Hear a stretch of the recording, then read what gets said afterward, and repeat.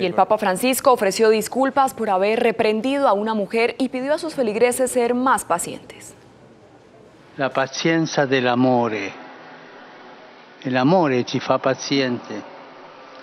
E tante volte perdiamo la pazienza. Anche io. E chiedo scusa per il cattivo esempio di ieri. Con estas palabras, el Papa Francisco se disculpó por haber perdido la paciencia durante la noche de fin de año.